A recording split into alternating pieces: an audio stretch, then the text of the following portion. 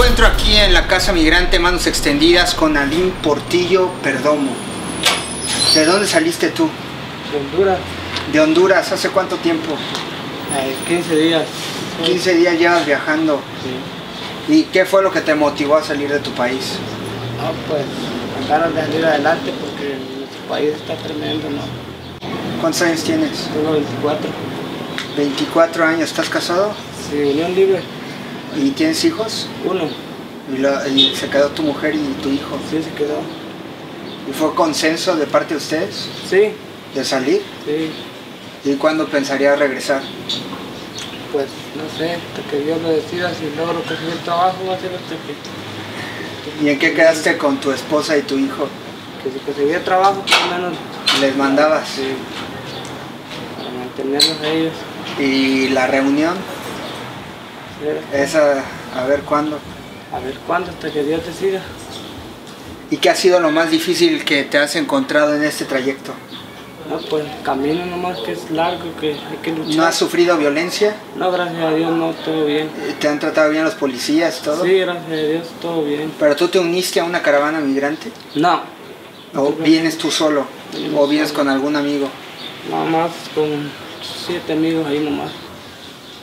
Sí, nomás en el tren. ¿Cómo se llama el presidente de tu país? Con Orlando. Juan Orlando. ¿Y cómo lo ves? Muchos se quejan de él, Gracias. que es el gran factor de la migración. Sí, mucha queja. ¿Por qué? ¿Qué le ha faltado a Juan Orlando? No ha ayudado al país, a los que lo necesitan. Implementó él un una nueva estrategia de seguridad pública para erradicar a las maras y a las pandillas. ¿Pero esto ha funcionado? Mejor o a lo mejor no. ¿Cómo ves tú a tu país? Por ¿En violencia, o sea, se ha exacerbado con Juan Orlando o ha disminuido? Es lo mismo. La violencia Se ha mantenido. No ha habido ningún No. cambio. ¿Cómo crees que podría mejorar tu país? Acá no, no qué decirle, pues. La paga es muy baja. O sea, se van porque la paga es mejor en los. Estados Unidos.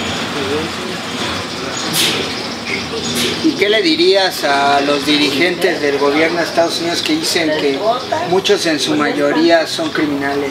No, pues que no se crean, porque no todos somos del mismo corazón, no todos pensamos lo mismo.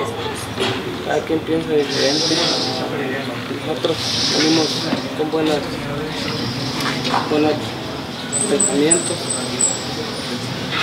¿Y ya sabes a qué te quisieras dedicar en Estados Unidos? Ahorita todavía no sé, pero a lo que me salga.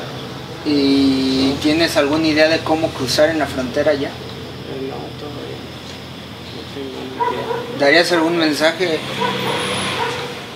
nomás pedirle a Dios nomás cuando tomen este camino. Es lo único. Él es el único que les puede ayudar en este camino nomás. Bien, muchas gracias.